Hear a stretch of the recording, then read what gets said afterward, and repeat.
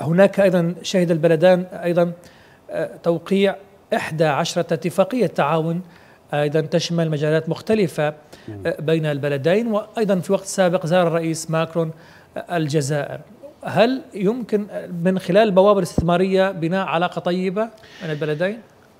إذا إذا وقع إذا غيرت فرنسا من سلوكها في التعامل الاقتصادي من الجزائر ودخلت كتركيا وكالصين بالعقليه الاستثمارية ممكن الأمور الأمور تمشي على الأقل تؤجل موضوع الذاكرة والكلام الذي كنا نتحدث عليه، لكن المشكلة أن الفرنسيين يأتون الجزائر وليس بعقلية الاستثمار وإنما بعقلية الاستنزاف والاستفادة من السوق الجزائرية فقط، حتى إن عندهم هم يفتخرون بيقولون بأن عندنا 500 شركة أو مؤسسة فرنسية متواجدة ونوظف أظن 40 ألف موظف، لكن هذا في قطاعات لا تقدم قيمة مضافة، نتحدث على قطاع البنوك والتأمينات وقطاعات لا تقدم قيمة مضافة للاقتصاد الجزائري. في حين أن المنافسين الجدد الذين دخلوا إلى الجزائر يقدمون قيمة مضافة فهم يستثمرون في الصناعة والزراعة والخدمات. وفي قطاعات كثيرة حتى إيطاليا جارت جارت فرنسا أقدمت على الاستثمار في ميدان ميدان الطاقة ميدان الغاز والبترول. وبالتالي هي